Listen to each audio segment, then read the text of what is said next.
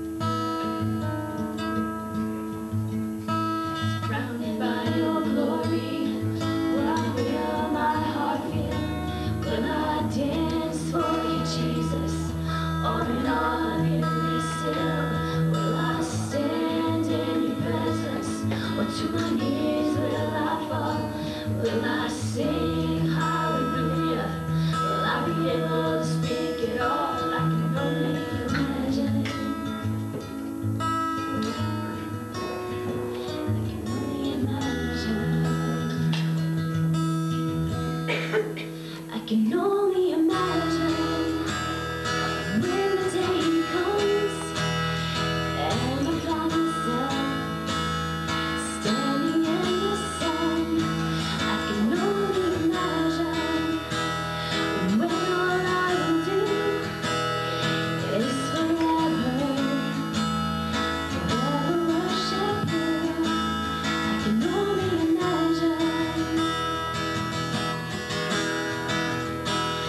You know